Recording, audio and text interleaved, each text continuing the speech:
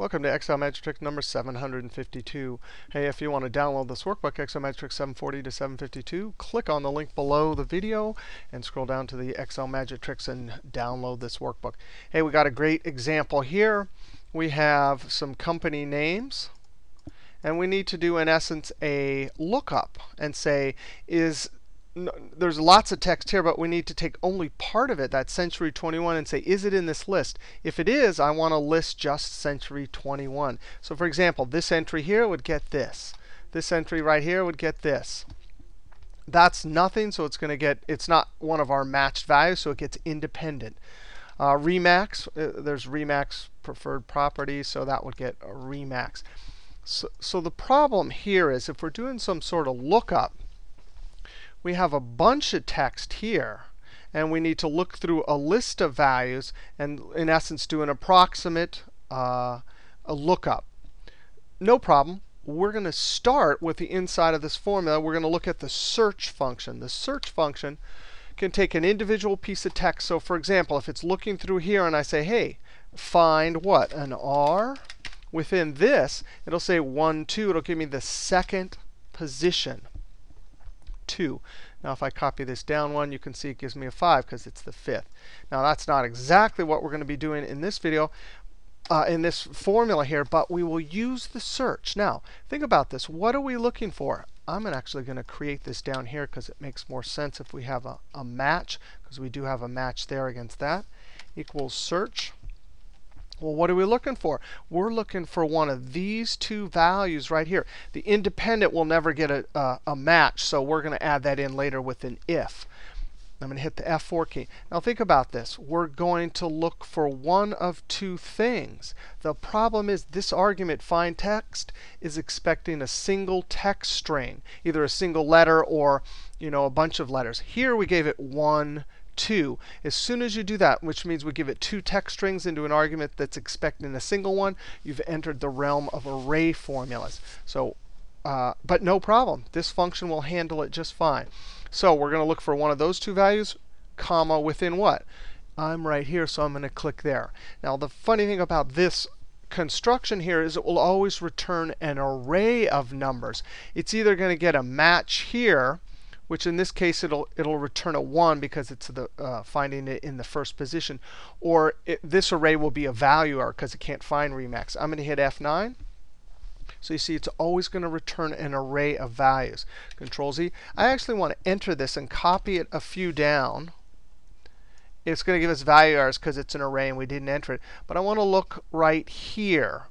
How about right here? I want to evaluate. I want to highlight and hit F9. Notice we're getting a 1 because it's starting in the first position. Escape, and then F9 here, value, value, because there's nothing. Here we should get F9 a 7. Ah, because it starts in the seventh position. But you get the idea. We're always getting a number or value error or two value errors. Escape. And finally, this one, if I hit F9, ah, we get a value error and a 1. Now I want to take this array here and convert it to only a 1 or less than 1. And the way I'm going to do that, escape, is I'm going to come up here and I'm going to divide by 1. Now what this is going to do, I'm going to copy this down, is it will always give us here, it'll just, there'll be two value errors. Here, there will be uh, 1 divided by 7, F9. So we get a number less than 1 or value. And here, we should get a 1.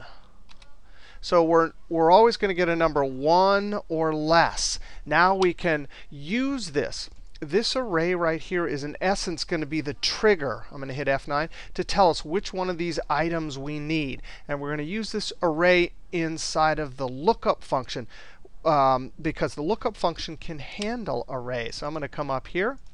Now what do we have to look up? Lookup, by the way, does uh, approximate matches, approximate lookups by default. So if I say always look up 1, comma, it's going to either find a 1 or a number less than 1, which is a perfect. That's how approximate look uh, approximate lookup works. So it'll always find the number, whether it's here or here. Now, lookup is also great for this particular solution because lookup vector, that tells us where in the array to take a value. comma, and then the results vector is what? This right here, because that's what we're trying to return, f4. So again, we look up 1.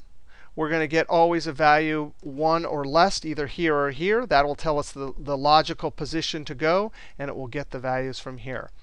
Enter. You don't even have to do Control Enter because lookup can handle arrays. Now I'm going to copy it up and then copy it down. The NAs are for the independent. And you can see we get exactly what we want. Anytime it sees a Century 21, whether wherever it is. By the way, we could, uh, you know, I don't think we have one of these, but if it was in the middle, it works just fine also. So we see one in the Century 21 in the middle, at the end, at the beginning. Now, NA is great in this situation. I'm first going to show you a solution in 2003 or earlier, and then I'm going to show you a much better solution for 2007 or later using the if error.